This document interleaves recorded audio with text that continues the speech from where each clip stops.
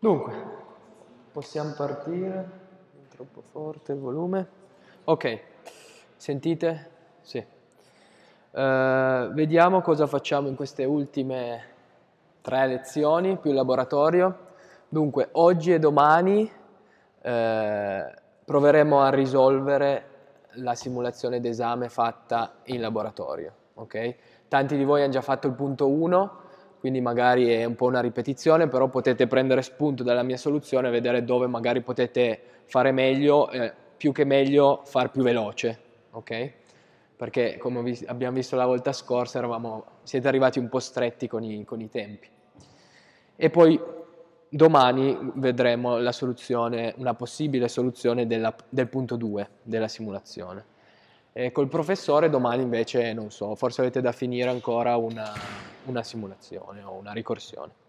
E poi mercoledì in laboratorio facciamo la seconda, sì, chiamiamola simulazione d'esame con l'altro database, eh, tema d'esame che sarà, cioè simulazione d'esame che sarà ricorsiva questa volta.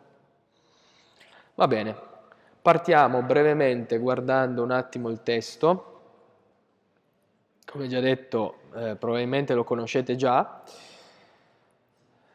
Innanzitutto partiamo dal dataset che eh, è un dataset con una singola tabella che riporta eh, oltre 300.000 eventi criminosi tra il 2014 e il 2017 nella città di Denver.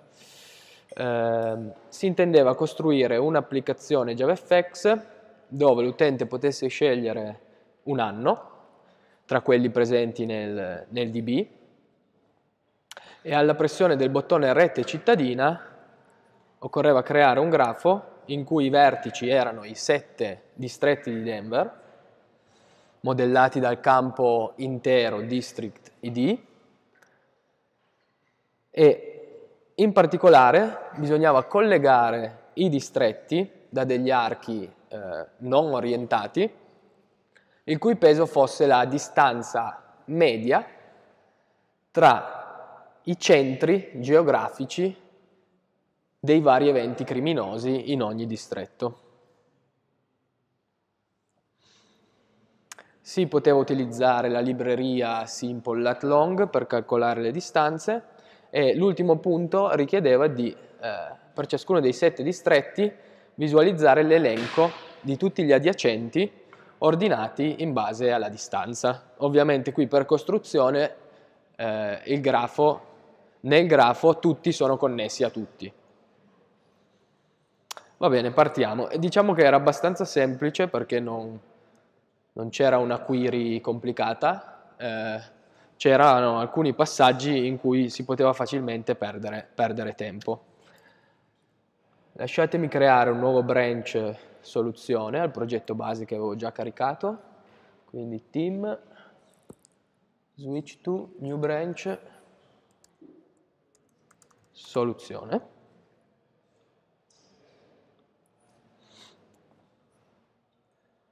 E partiamo, vediamo un po' cosa offriva già il progetto base.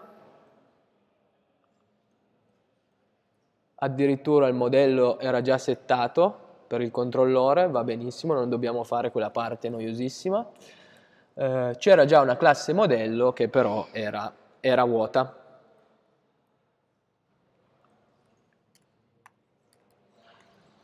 Allora, partiamo subito con qualche ragionamento che secondo me vi farebbe risparmiare un po' di tempo. Prima cosa, quanti sono i vertici? Ci dobbiamo sempre fare questa domanda per vedere che strategia utilizzare. In questo caso il testo lo dice esplicitamente, ci sono sette vertici. Ora, sette è un numero veramente bassissimo, quindi direi che la, la, la classica strategia 1 va benissimo. Aggiungo tutti i vertici, faccio un doppio ciclo for e connetto eh, i due vertici eh, con un arco facendo una query ogni volta al database. Quindi su questo siamo d'accordo. Eh, L'altra cosa su cui possiamo ragionare è che cosa è il grafo, cosa, in particolare cosa sono i vertici. Ho visto che molti di voi hanno fatto una classe distretto, giusto? in realtà se leggiamo già bene il testo, non è che abbiamo molto bisogno di questa classe distretto. Visto che i distretti sono modellati come un campo intero nel DB, nulla ci vieta di avere un grafo ehm, graph i cui vertici siano semplicemente degli interi. E qui già risparmiamo un po' di tempo perché non dobbiamo crearci la classe distretto, non dobbiamo definire gli hashcode e gli equals perché la classe intero di Java già ce li ha. E quindi secondo me qui è un buon trucchetto è utilizzare direttamente gli interi. Come per certi esercizi avevamo visto i vertici erano direttamente delle stringhe. Stessa cosa. È un grafo pesato, default weighted edge, grafo, importiamo le varie classi, eccoci qua. Dopodiché, utilizzando eh, degli oggetti, degli interi come vertici, anche della mappa in sostanza non ne abbiamo molto bisogno. Avessimo avuto degli oggetti distretto, allora sì che aveva senso avere una mappa in cui eh, il, la chiave fosse l'id del distretto e il valore fosse l'oggetto distretto. Qui in realtà abbiamo solo degli interi, quindi va benissimo, basta una lista.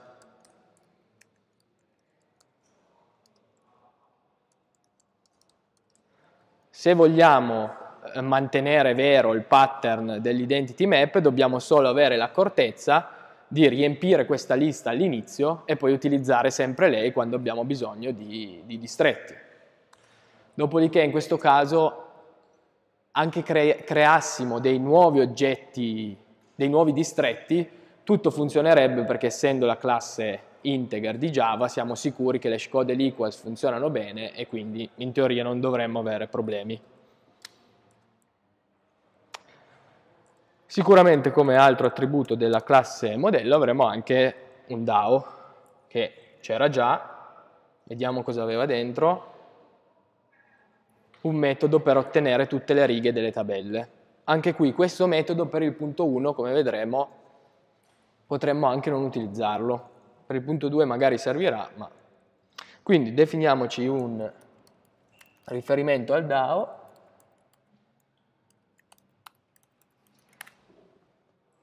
lo importiamo, perfetto. Adesso nel costruttore possiamo andarci a creare tutto quello che dobbiamo crearci, quindi creiamo un, il DAO, facciamo la new, creiamo magari già il grafo e un simple weighted graph di default, eh, no scusate, di integer e default weighted edge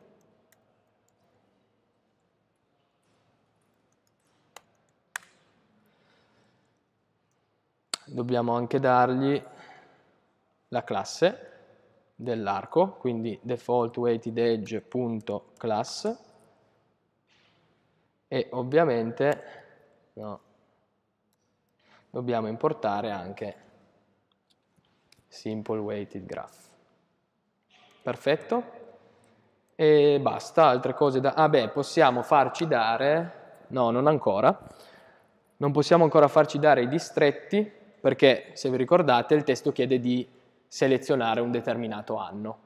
Giusto? Quindi potrebbero esserci dei distretti che ci sono nel 2014 ma non nel 2016, quindi a priori non possiamo farceli dare tutti.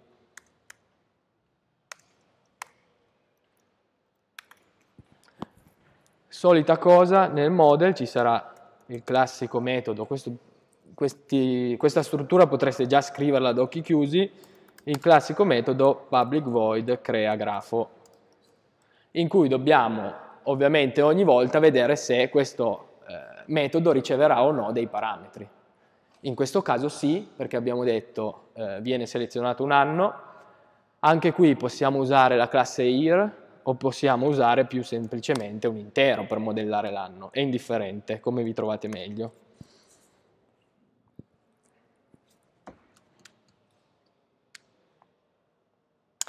Quindi adesso qui sì che possiamo farci dare tutti i distretti per quel determinato anno e saranno i vertici del nostro, del nostro grafo. Quindi dis.distretti uguale DAO, ovviamente non abbiamo ancora il metodo, lo scrivo, list all districts, e me lo vado a fare implementare. Ovviamente qui ho scelto di fare eh, in questo modo, il metodo DAO mi ritorna la lista e io la vado a salvare qui. Nulla vieterebbe di fare anche in quest'altro modo, far sì che quel metodo sia un void e io gli passo già la lista vuota e lui la riempie, fa lo stesso. Lo vado a creare e qui addirittura non abbiamo neanche bisogno di provare prima sul client eh, SQL perché è davvero una, una eh, query facilissima. Semplicemente string SQL uguale select che cosa? Allora sappiamo che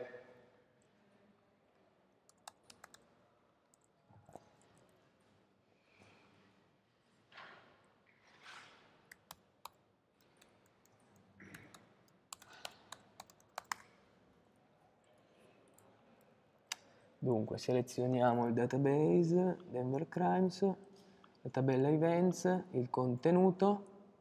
Ecco qua. Abbiamo una lista di, di eventi in cui ogni evento da qualche parte ha il district id. Dove sei? Eccolo qua.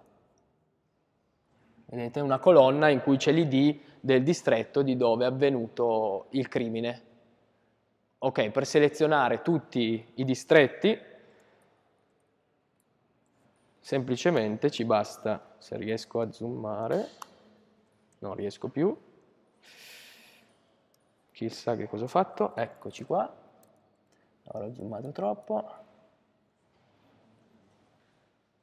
eccoci qua, ci basta selezionare district id, il campo, naturalmente con una distinct davanti, per prenderne solo uno per volta.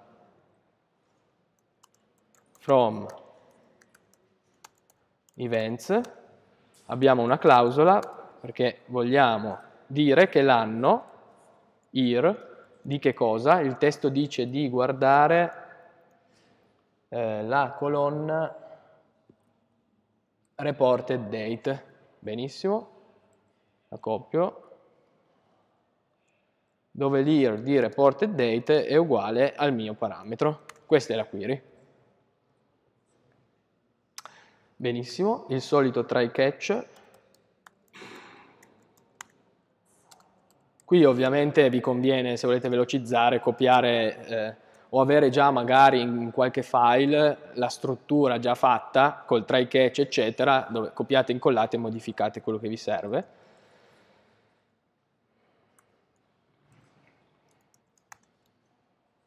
Copio da qua sopra,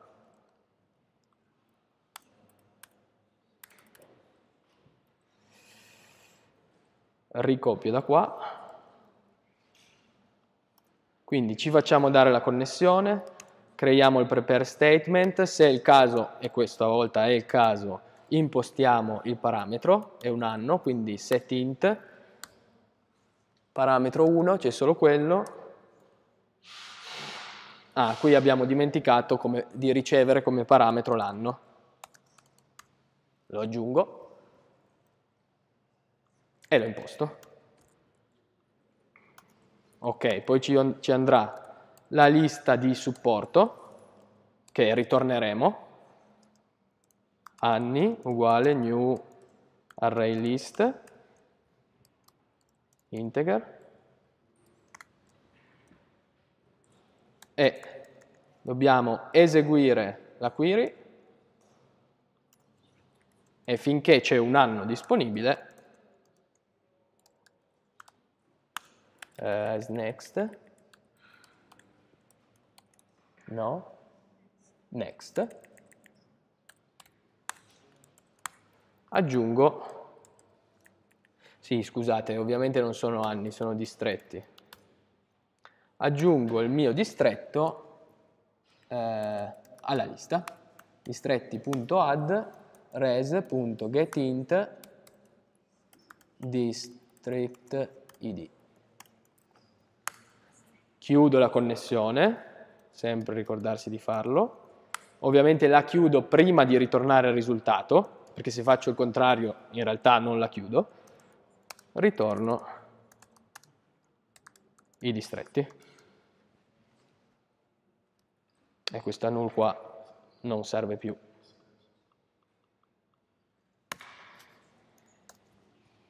Perfetto, torniamo nel modello, qui dobbiamo passargli l'anno ovviamente, e possiamo già adesso aggiungere tutti i vertici, quindi graphs.add all vertices, dove al grafo quali vertici i miei distretti.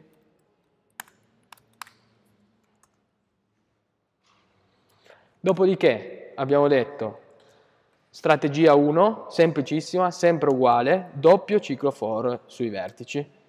Integer v1 in this.grafo.vertexset, ciclo 1, ciclo 2, for integer v2 in this.grafo.vertexset dobbiamo avere l'accortezza di controllare che i due vertici non siano gli stessi, altrimenti andremo ad aggiungere dei loop. Quindi se eh, not v1.equals v2 farò, vedrò se devo aggiungere l'arco, in questo caso sicuramente sì, perché ci sono tutti gli archi, e vedrò con che peso. Allora ho usato equals perché sto usando la classe integer di Java, non è un intero semplice, solo il numero, ma è la classe che wrappa un intero e quindi dentro di sé ha definito il suo metodo equals. Se fate così, tanti auguri. Ok? Non funziona, perché sono degli oggetti, anche se sono, modellano un singolo numero.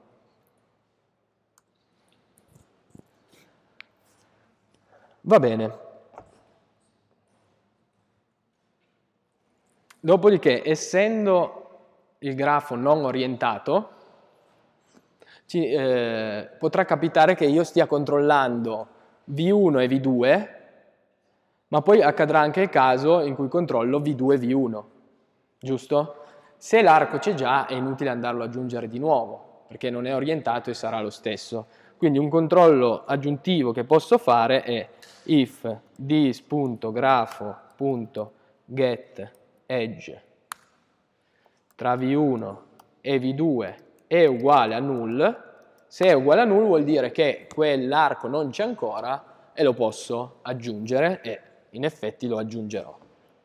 Attenzione, questo è uno degli errori che ho visto più spesso, capita a volte, non so se in questo esercizio, che voi aggiungiate un arco, eh, la DEG in teoria vi ritorna il riferimento a quell'arco e voi dopo lo usiate per ad esempio impostare il peso, cambiare il peso eccetera.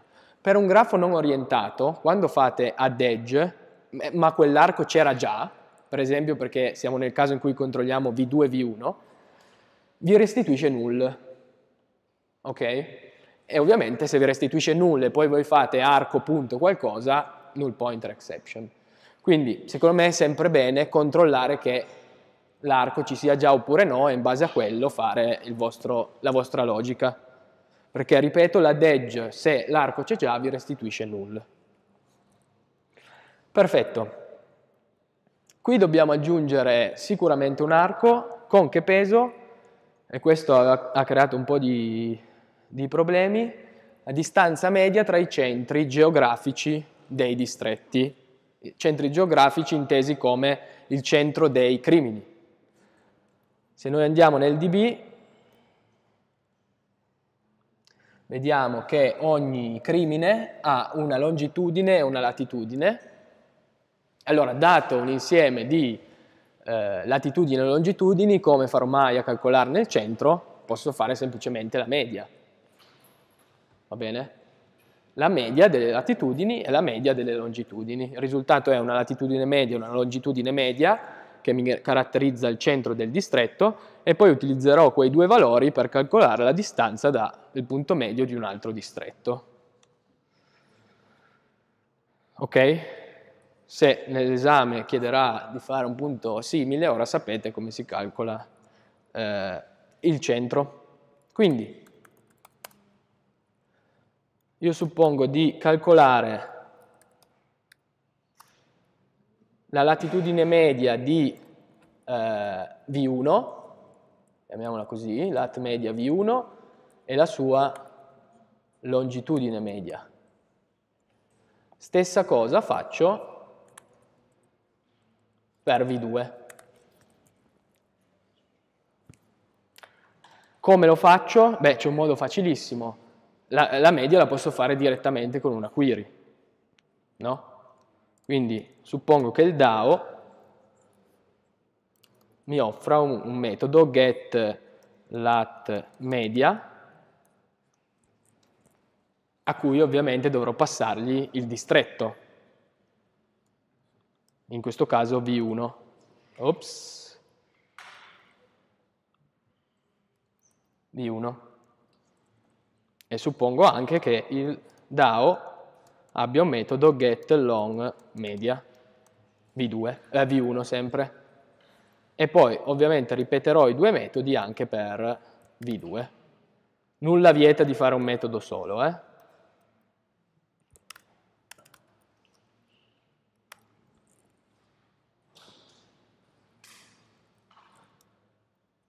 Perfetto, magari li facciamo dopo, supponiamo che funzionino, terminiamo il, il model. Adesso abbiamo eh, due latitudini e due longitudini e per calcolare la distanza, come suggerito nel testo, possiamo utilizzare la libreria, la libreria eh, che era già linkata al progetto. Double distanza media uguale c'è una classe lat lng tool, faci, si trovava facilmente dalla documentazione, che ha un metodo distance, a cui bisogna passare i due punti, i due punti intesi come latitudine e longitudine messe insieme, e un'unità di misura, in questo caso chilometri. Quindi per il punto 1 mi vado a creare un new ehm, lat lng a cui ci passo latitudine e longitudine media di V1,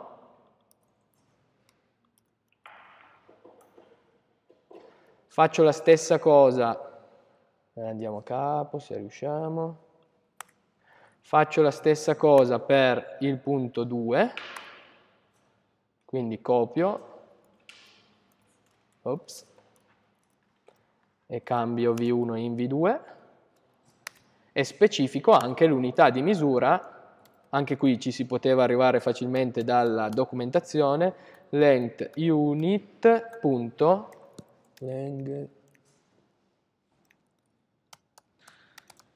unit. Punto, chilometri. Dobbiamo importare lat long. Perfetto. Ok, calcolata la distanza media, aggiungo l'arco con quel peso lì. Quindi graphs punto. Add. Edge with vertices. In cui posso specificare direttamente tutto, il grafo, ops, this.grafo, il nodo sorgente V1, il nodo destinazione V2 e il peso distanza media.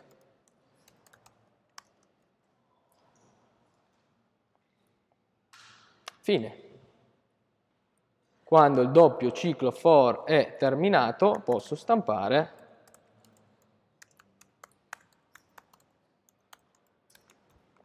grafo creato e magari anche il numero di vertici e il numero di archi per vedere che è tutto quadri. Quindi numero di vertici eh, dis.grafo.vertexset.size e numero di archi.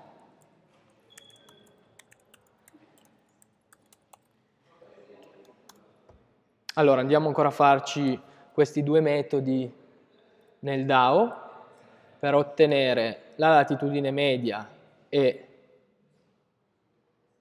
la longitudine media. Dato un, modifico il nome, distretto. Anche qui la query è semplicissima, qui avremo una media, AVG, di che cosa? Del campo geo eh, lat, diamogli anche un nome, as eh, media, from events, Qui in realtà dobbiamo anche passare l'anno di nuovo come parametro, perché ovviamente vogliamo prendere tutti gli eventi di quel distretto, va bene, ma sempre in quell'anno considerato. Quindi qui dobbiamo aggiungere integer anno, dove l'anno sarà uguale a questo anno and district id uguale secondo punto interrogativo.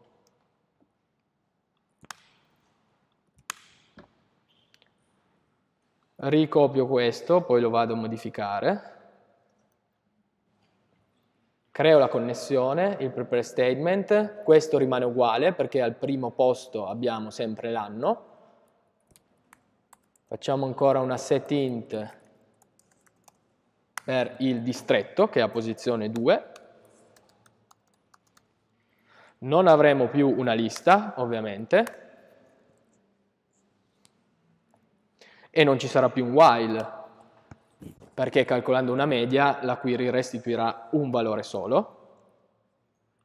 If res.next, speriamo ci sia, ritorno res.getDouble, perché è una media, media,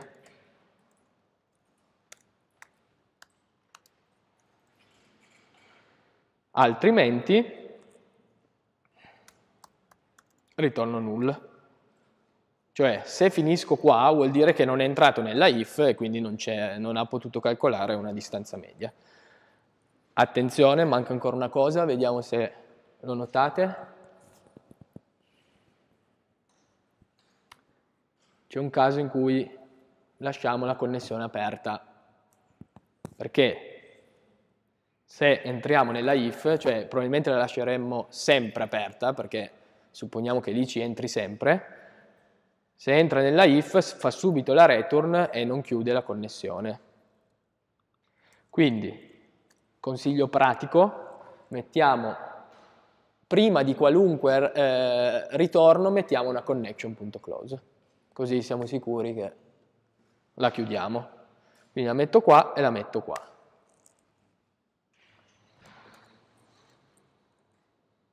Il metodo getLongMedia è identico, quindi copio e cambio solo eh, geolon.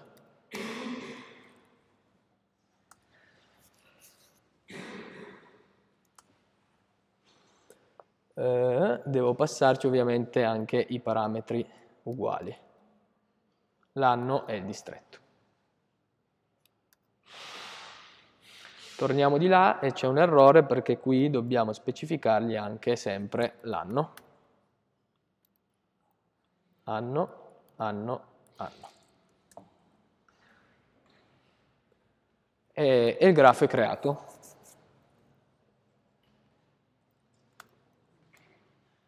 Facciamoci la classe test model, c'è già, perfetto. Scrivo direttamente qui, va benissimo model m uguale new model m punto crea grafo anno 2015. Proviamo a lanciare.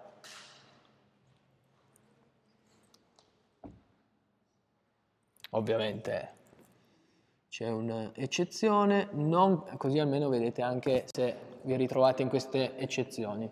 Quando trovate un'eccezione a non column vuol dire che semplicemente nella query avete sbagliato a scrivere la, il campo. District ID, vediamo come si chiamava. District ID, allora l'ho proprio sbagliato, sì, direi di sì. Torniamo qui, district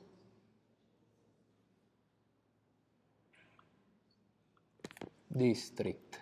Eccolo qua, c'era una lettera di troppo, qua invece era giusto.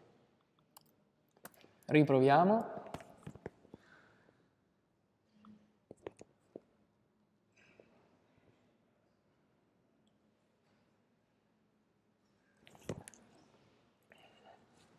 Perfetto, 7 vertici ci sta, c'erano tutti, e 21 archi anche ci sta perché tutti sono collegati con tutti con un solo arco, cioè non ce n'è andata e ritorno, ma ce n'è uno solo.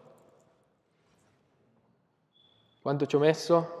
Mezz'ora parlandoci sopra. Ah sì, accendiamo le luci, vediamo di non... Devo staccarmi da qui.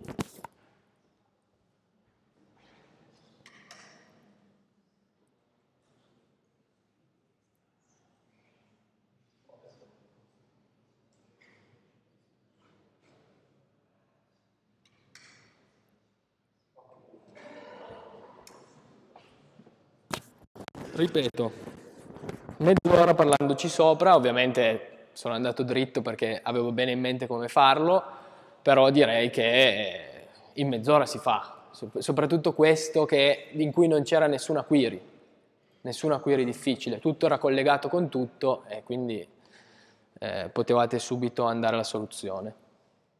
Ovviamente se iniziate a creare una classe distretto, l'hash code, l'equals, eccetera, quindi cose alla fine inutili, eh, Certo che perdere un quarto d'ora è molto facile. Vediamo cosa chiedeva l'ultimo punto. Anche questo ha creato un po' di confusione. Per ciascuno dei sette distretti si stampi l'elenco degli adiacenti ordinate in base alla distanza crescente. Allora qui dovrebbe venirvi subito in mente che avete due eh, informazioni da modellare contemporaneamente, che sono il mio vicino e quanto è distante da me. Per come è fatto eh, l'esercizio, la soluzione, non abbiamo da nessuna parte questa cosa. Cioè non c'è un... il grafo non ce lo può dire, ci può dire i vicini, sì, ma non con la loro distanza, almeno non questa informazione unita insieme e non abbiamo da altre parti eh, questa informazione. Quindi quando è così vi deve subito venire in mente, ok, mi serve una classe aggiuntiva che abbia due campi, il mio vicino e quanto è distante da me. Così poi ordino le istanze di quella classe. Questa mi sembra la soluzione più rapida. Si può fare anche in altri modi, ho visto anche tra di voi altre soluzioni, ma secondo me è quasi sempre così quando l'ultimo punto vi chiede di ordinare i vicini secondo un certo criterio, mi vado a creare subito una classe, chiamiamola vicino, in cui c'è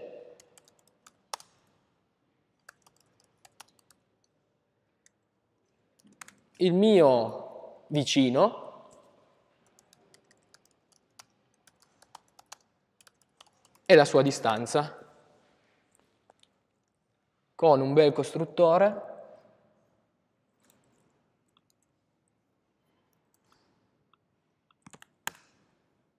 e i vari getter e setter. Questi sono i getter e setter. Uh, constructor, dove sei? Eccolo qua. Va bene? Io suppongo che io mi conosco, sono io, e poi avrò una mia lista di vicini che, in cui ogni oggetto di questa classe avrà il vicino è la distanza.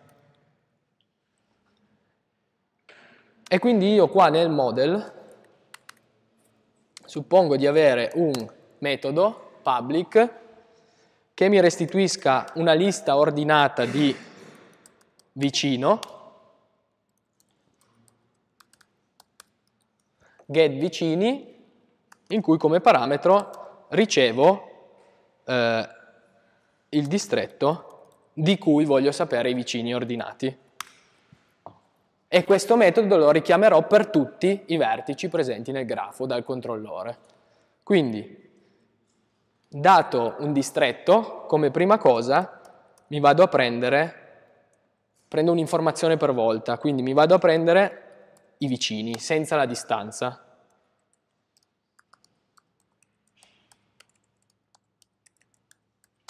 Neighbors uguale graphs punto eh, list of il grafo e il distretto. Presi i vicini, integer, li scorro,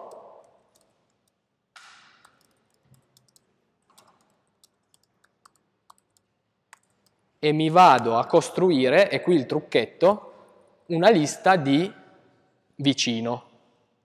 Quindi me la creo vuota prima fuori, list vicino, vicini uguale new linked list di vicino.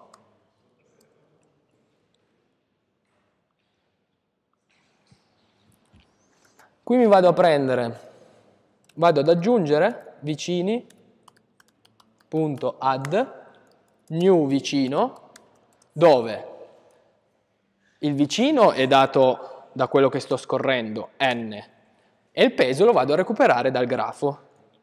this.grafo.getEdgeWeight di che cosa? L'arco che c'è tra me, distretto, e il vicino che sto scorrendo. this.grafo.getEdge io e n. Ora vado a capo così si vede meglio.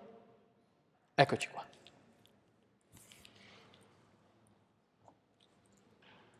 Adesso però, avendo costruito queste classi che hanno entrambe le informazioni, il vicino con la sua distanza da me, posso ordinare questa lista.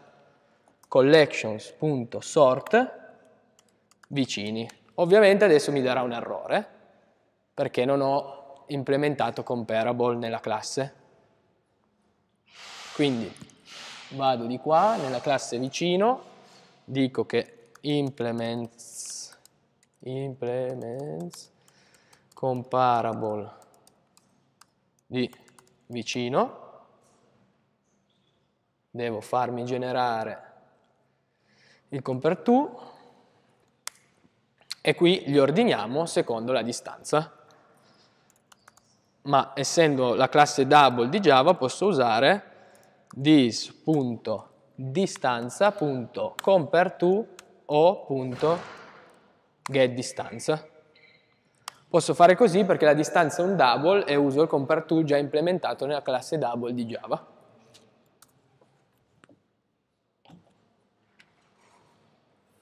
Punto virgola. e poi ritorno vicini.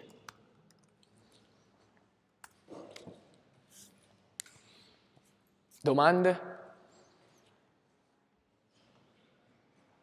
Non sono poi tante righe di codice, eh? se vi viene in mente di creare quella classe lì aggiuntiva, poi alla fine è molto facile. Direi che quando il testo richiede stampare l'elenco di tutti i vicini ordinati per eh, boh, qualcosa, creo subito una classe di supporto. Allora, già che ci siamo, colleghiamo tutto al controller, così poi iniziamo a ragionare già sulla simulazione, tanto un po' di tempo ce l'abbiamo. Uh, crimes controller. Partiamo dal, dalla creazione del grafo. Il model ce l'abbiamo già, quindi richiamiamo this, anzi no, prima di creare il grafo dobbiamo recuperare l'input, integer anno, l'anno lo recupero dal box anno.getValue, ovviamente poi dobbiamo riempirla questa tendina. e facciamo subito il controllo dell'errore, if anno è uguale uguale a null, stampiamo messaggio d'errore, devi selezionare un anno e ritorniamo. Se tutto va a buon fine invece dis.model.creagrafo anno. Allora, dicevamo, la tendina dobbiamo riempirla, quindi box anno sarà un combo box di interi, perfetto, e qui nel set model this.boxanno.add all, no, getItems.add all, anche qui sì è vero, c'erano un po' di eh, cose da fare e in effetti se perdete tempo era abbastanza lungo perché anche qui dobbiamo fare una query nel DB per richiedere tutti gli anni possibili. Quindi this.model.get anni, non ce l'abbiamo ancora ma ce lo andremo a creare. Creo il model, ovviamente non è un intero ma è una lista di interi semplicemente il model richiama il DAO this.dao.getAnni. Anche qui non ce l'abbiamo ancora e lo vado a creare. Di nuovo una query molto semplice, copio questa versione qui che aveva anche una lista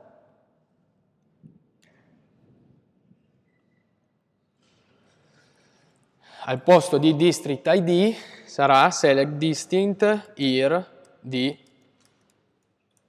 reported date from events.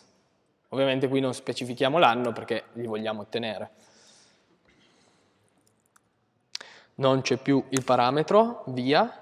Questo diventa anni, anni. Qui diamogli un nome as anno anno, return anni. Vedete che facendo copia e incolla è, è veloce. Torno di qua nel controllore, ottimo. Quando il grafo è creato, allora posso utilizzare il metodo, questo qui, getVicini, fatto su tutti i vertici del grafo. Quindi sicuramente mi servirà un metodo qui dal model che mi ritorni la lista di distretti e mi va bene perché ce l'ho già questa lista, basta che faccio la return. E quindi dal controller dico che per ogni distretto in this.model.getDistretti vado a recuperarmi la mia lista di vicino. this.model.get vicini che è distretto il distretto D. Importo. E una volta che ho questa lista mi basta stamparla, quindi um, txt result.append text slash n diciamo vicini di distretto più d, cioè ora ti elenco tutti i vicini del distretto D, faccio un for sulla lista di vicini,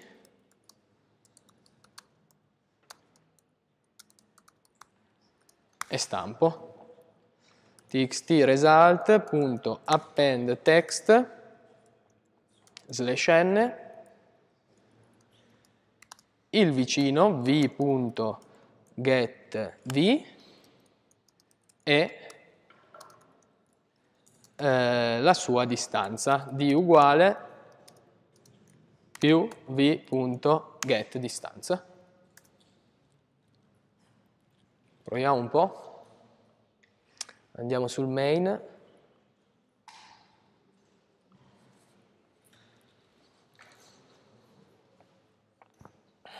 Eccoci qua. Se non seleziono un anno mi stampa l'errore, perfetto. Vedete che ci sono i vari anni, seleziono il 2015, clicco rete cittadina e forse. Perfetto. Vicini di distretto 6, sono questi qua, vicini di distretto 3, eccetera. Sono ordinati giusti? Richiedeva in ordine ascendente o discendente? Non mi ricordo. Vediamo un po'. Eh. Elenco di ordinati in base alla distanza crescente. Perfetto. Direi che ci siamo.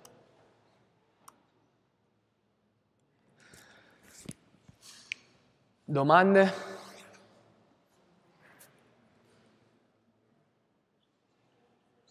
Ci abbiamo messo 40, no, 45 minuti. Ci rimane un'ora e un quarto per la simulazione, giusto? Dove, ripeto, la simulazione conta più l'idea che il fatto che lanci perfettamente e in modo corretto.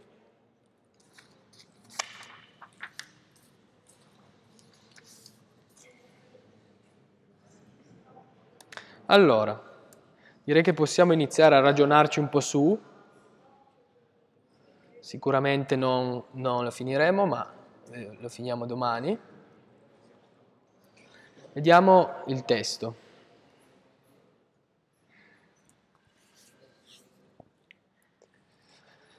Si permette all'utente di selezionare una specifica data, giorno e mese, dell'anno già considerato e si permette anche di inserire un numero n compreso tra 1 e 10 di agenti disponibili.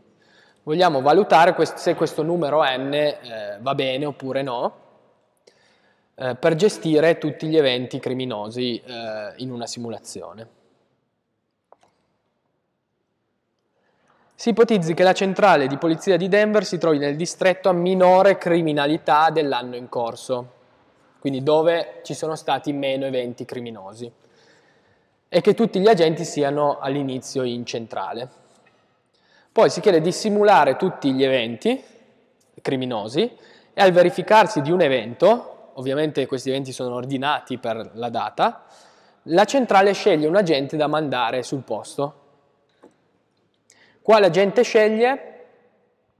Sceglie il più vicino a eh, l'evento criminoso. Ovviamente al primo evento saranno tutti vicini uguali, perché sono tutti in centrale, ne sceglierà uno a caso, eh, però poi via via potrebbe cambiare questa situazione.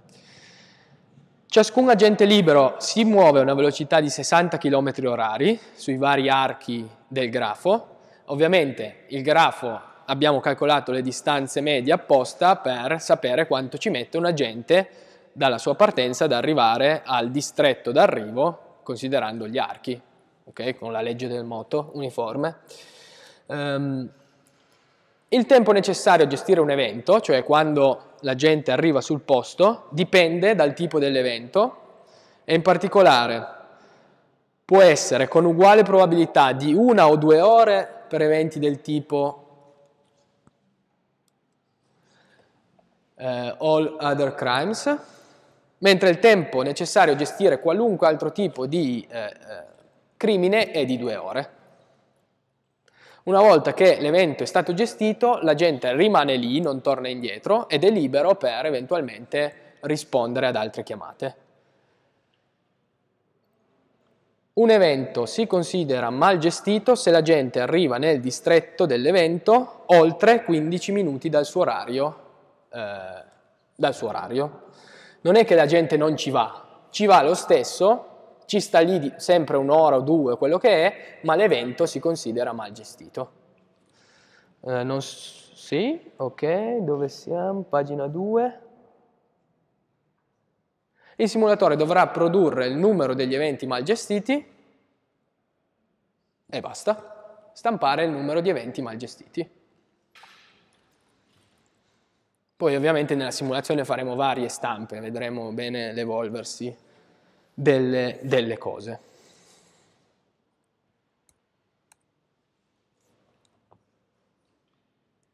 Allora, per la simulazione, due classi che sicuramente vanno create, il simulatore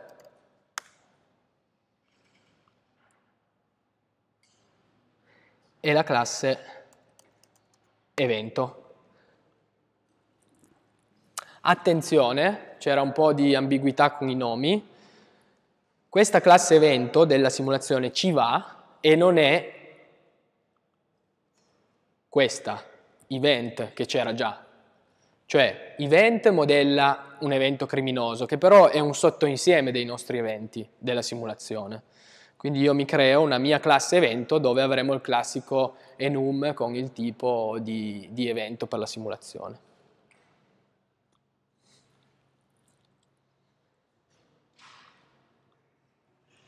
Dunque, Partiamo, partiamo da qui cercando di ragionare su che cosa ci serve. Quali sono i tipi di evento che dobbiamo modellare, secondo voi?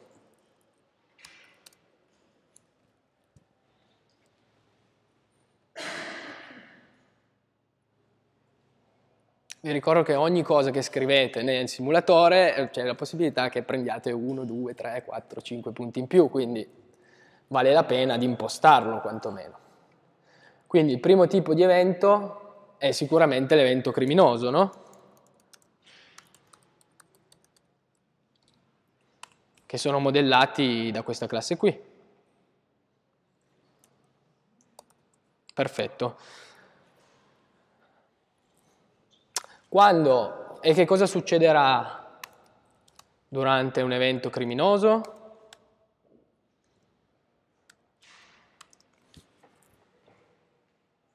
Arriva un evento in centrale, che cosa deve fare la centrale? Seleziona la gente.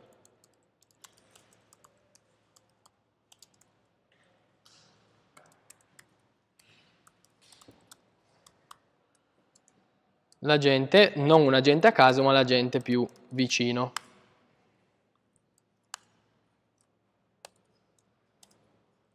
Ok.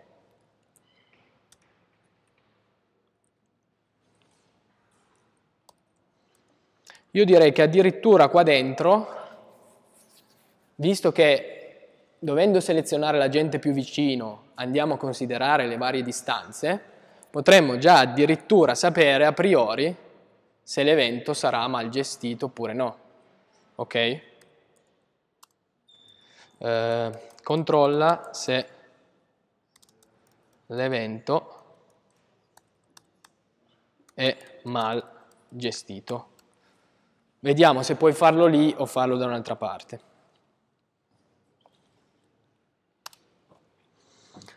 Altro evento, la centrale ha scelto un agente e questo agente prima o poi arriverà sul posto, no?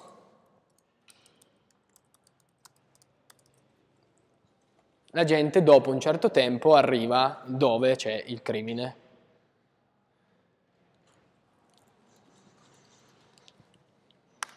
Qui farà le sue cose, non lo sappiamo,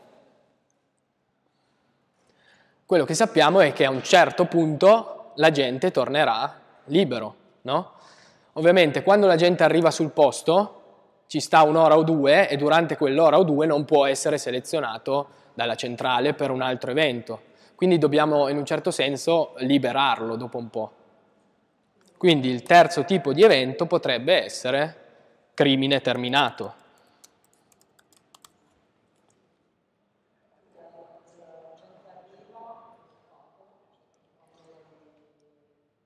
Sì, in realtà l'agente è occupato già da qua.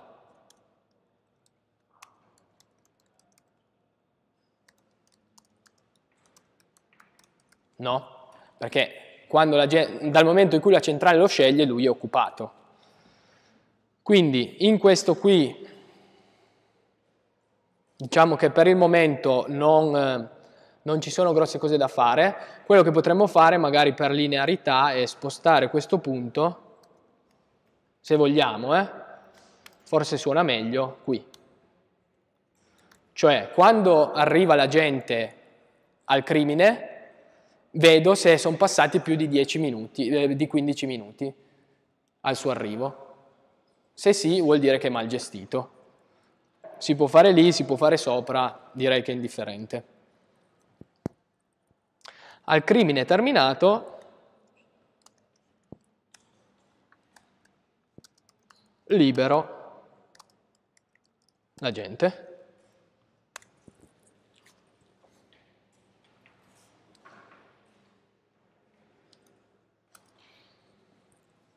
Altri eventi che vi vengono in mente? Direi di no.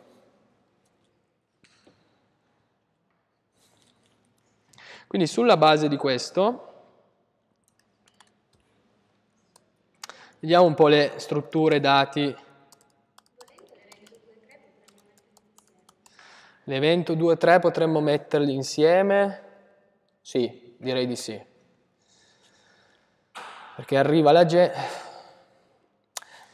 In realtà non sono proprio la stessa cosa se vogliamo controllare questo punto qui. Perché in realtà non sono eh, nello stesso momento, perché la gente arriva, vedo se il crimine è mal gestito oppure no, però poi questo avviene un'ora o due dopo. Quindi qui in realtà sì, ci manca ancora questo. Quando la gente arriva definisco quanto durerà l'intervento e sulla base di questo creerò il crimine terminato. L'unica cosa che possiamo fare è questo, toglierlo del tutto, cioè queste due cose potremmo già farle a priori nell'evento 1 perché io so quanto ci metterà ad arrivare lì, so il tipo di crimine, quindi posso stabilire lì quanto ci starà e quindi però fa lo stesso. Direi che per linearità è forse più bello averli tutti e tre perché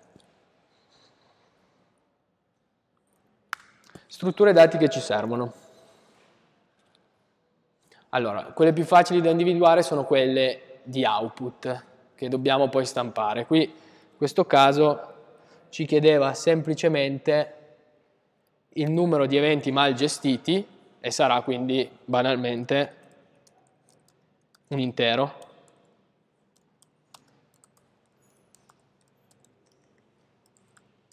Perfetto. Altre strutture dati facili da individuare sono i parametri. Qui abbiamo eh, l'N, il numero di, di agenti, ma anche la data. Allora, io per semplicità modellerei tutto come interi.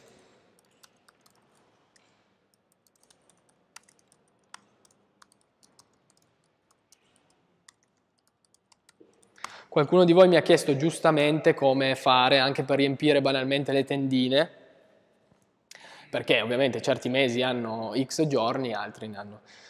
Dunque, se non vi viene detto niente, poi all'esame una domanda del genere potete benissimo farla, eh, io semplicemente adotterei la versione più facile, inserisco i numeri da 1 a 12 per il mese e i numeri da 1 a 31 per i giorni, ok? E poi supponiamo che l'utente scelga una data corretta.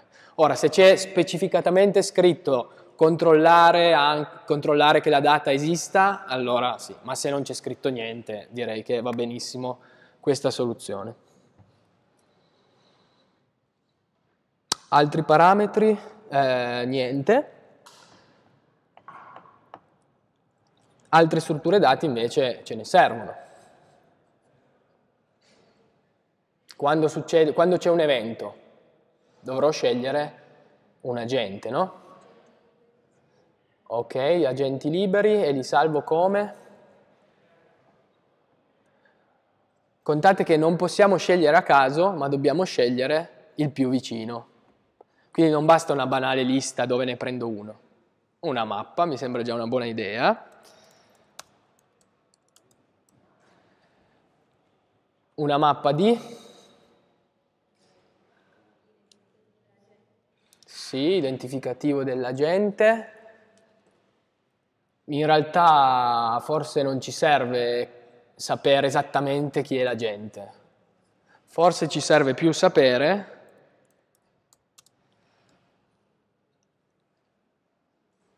in, nel determinato distretto X quanti agenti liberi ci sono.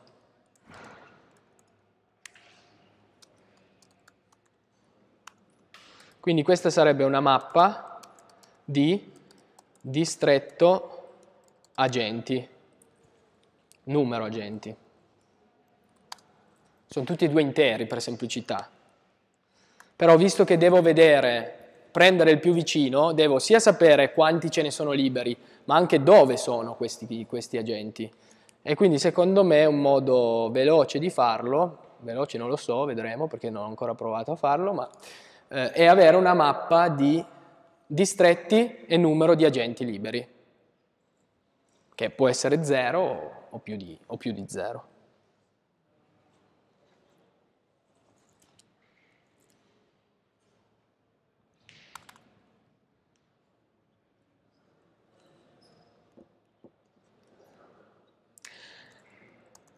E allora, ragioniamoci così qualitativamente, poi domani scriviamo il codice.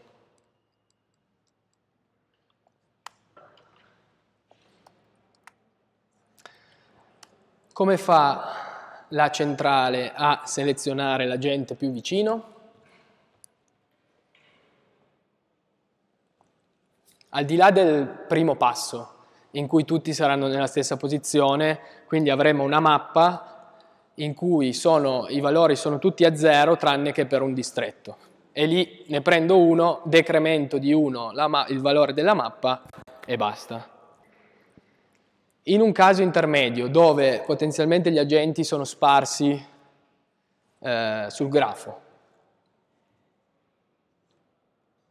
io so che c'è un evento criminoso nel distretto Y,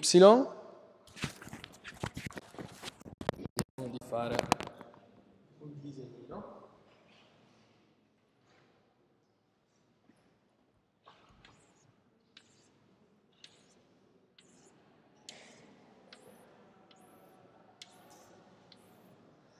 là dei, degli archi che saranno, sono messi a caso, ma supponiamo che l'evento sia qua. Ok? E io ho quattro agenti qua, due agenti qua e un agente qua. Ovviamente eh, ne devo prendere uno di qua. Beh, non è detto, perché dobbiamo considerare anche le distanze. Qui potrebbe esserci una distanza di 10 una distanza di 1, qui di 1, qui di 1, e 10. Che agente prendo? Sicuramente non questo, perché c'è un percorso molto più veloce che va da qui a qui. Giusto? Quindi non è che me la cavo molto facilmente, cioè me la cavo facilmente se capisco cosa devo fare. Io so dove il il crimine e quindi come faccio a... In poche parole è un calcolo dei percorsi, no? Quindi direi che per ogni nodo in cui ci sono degli agenti liberi mi dovrei calcolare il cammino minimo da quel nodo al nodo in cui c'è il crimine. Mi calcolo il cammino minimo, vedo quanto fa, ad esempio il cammino minimo tra due, no, qua non ha un identificativo, tra V1 e V5 e 2, tra V3 e V5 e 10, eccetera. Me li prendo tutti e poi vado a vedere qual è il più. E decremento di 1, in questo caso, eh, gli agenti da V1.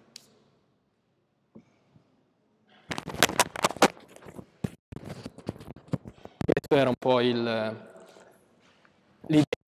Quindi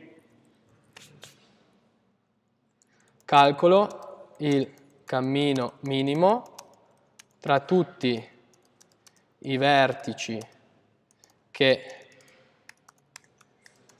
hanno degli agenti liberi e il vertice in cui è avvenuto il crimine.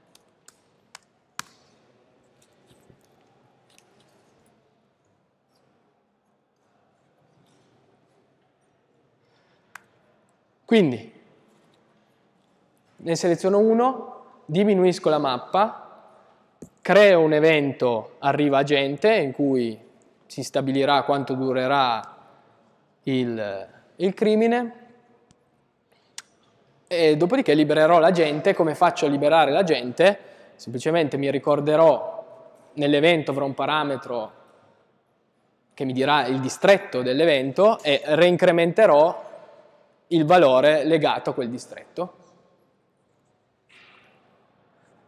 Prima di concludere c'è ancora un caso che eh, in effetti non era specificato nel testo e me l'ha fatto notare un vostro compagno.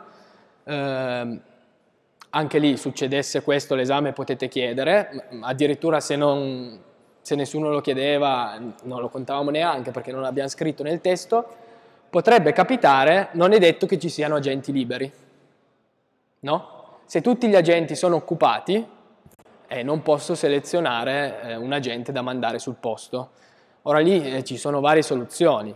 O aspetto il primo agente che torna libero e poi lo mando, caso complicato perché bisogna creare altri tipi di eventi.